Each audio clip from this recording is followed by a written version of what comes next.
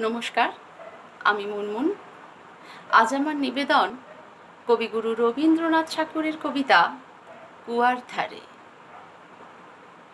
তোমার কাছে চাইনি কিছু, জানাইনি মোর নাম।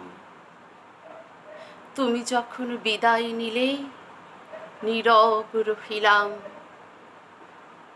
একলা ছিলেন কুয়ার ধারে, নিমের ছায়াতলে। কলস নিয়ে সবাই তখন পাড়ায় গেছে চলে। আমায় তারা ডেকে গেল, আয় গো, বেলা যায়।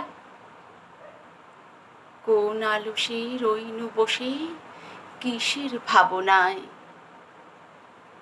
পদধ্বনি শুনি নাইকো কখন তুমি এলে?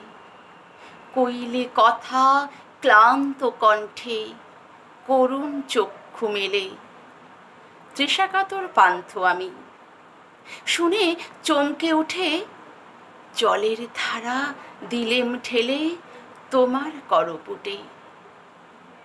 মরমরিয়া কাঁপে পাতা, কোকিল কোথা ডাকে, বাবলা ফুলের গন্ধ ওঠে পল্লী পথের বাঁকে।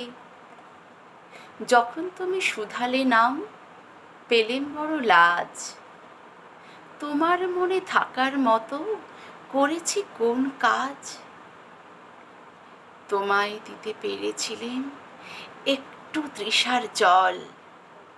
এই কথাটি আমার মনে রহিল সম্বল। কুয়ার ধারে দুপুর বেলা তেমনই ডাকে পাখি, তেমনই কাঁপে নিমের পাতা।